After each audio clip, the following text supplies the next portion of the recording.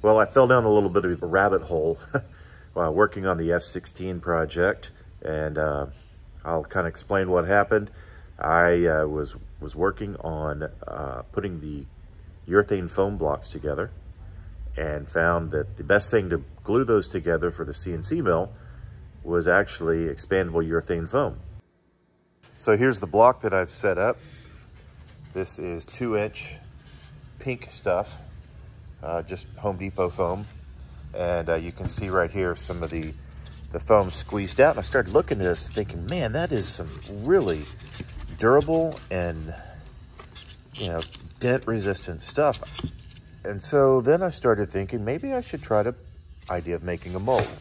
So what I did is I created a miniature mold of the F-16. and I'll go into detail on my channel about how to do this. Had that made a top half and then I made two bottom half sections that were probably a little bit too tight in here, uh, but, but the top section worked great. And then here is a hollowed out component that I put on top of it.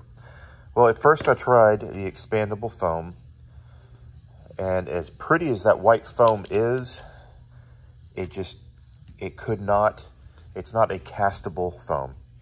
It just wouldn't work. I've tried about five or six different times. So what I did is I came up with trying this. And this is a specific casting foam. And this is six pound density rigid casting foam. And immediately within you, you pour it in and 15 minutes later, actually, I think they say 30 minutes, but uh, you can pull out a workable part. And it's not heavy. It is a little too brittle though. Um, so there is a three pound version that I'm going to try. Uh, but the mold went perfectly fine. This one was done on the Bambus, but I have another product that I just can't wait to show. There's a close up of what came out of the mold, and those were regular 3D printed molds. But what I want to show you is look at this guy. No, it's not an airplane part, I get it.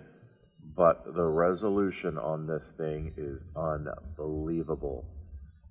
And this just came off a brand new Anycubic resin printer that we just got here at Triumph Makerspace.